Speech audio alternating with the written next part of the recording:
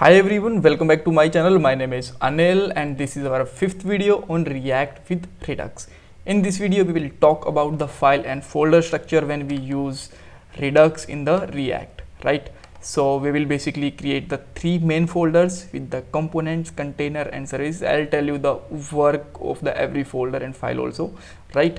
Then um, we will create the three subfolder inside the services uh, actions reducers and constant. Basically this is basically a file right? Not a folder. So uh, in the components folder we will put our all components. In the containers we will connect our components with the redux. And in the services we will put our all complete redux. In the actions folder we will define the action.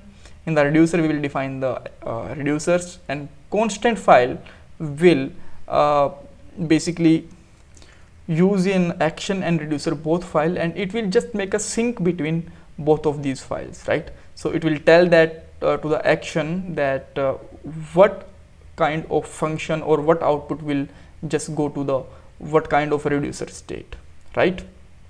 And uh, if you just want to check out this uh, structure with the official website this is a pretty similar. So let's look out a official website of redux. And uh, we will okay so let's just uh, go to the basic tutorials. Then an example. Here you can also see that actions reducers then containers and components and everything right? We are basically just using the same uh, file and folder structure which is uh, uh, recommended by the official website and the official documentation right? So don't worry when you use our uh, file and folder structure you can just get help from the official website as well as from the my git and these tutorial or are already available for you right? So now let's get started. Let's go to the okay so actually i already created this folder in the last video. So uh, actually i just uh,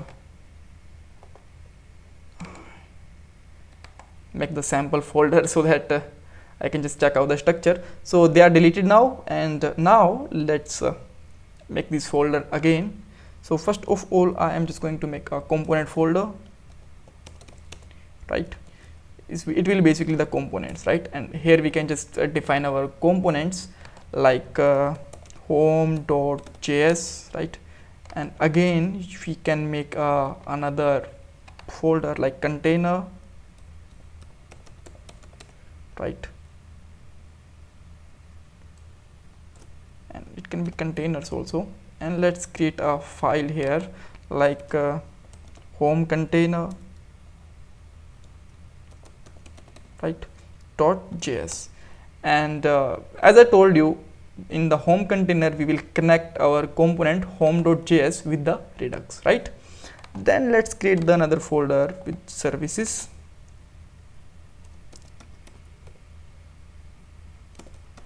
Right uh, what happened with it? Okay I think I just select the file right? So just create here service. And here let's create some um, folder again like action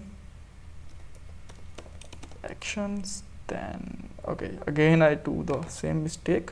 Let's just uh, add a folder actions then we can just do the same thing. Um, reducer. Right. And uh, after that let's make a file here. Um constant.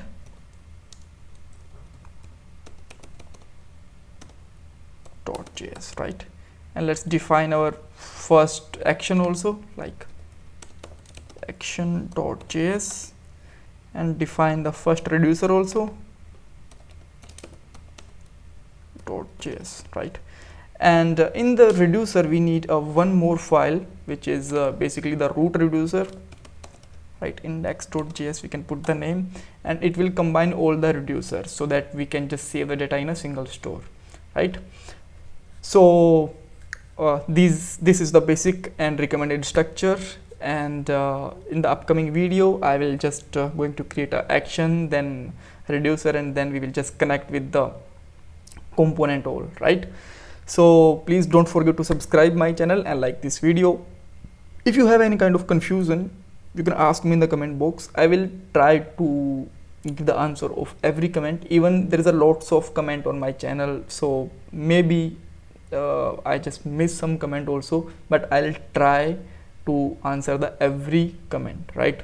So thanks for watching again and bye bye take care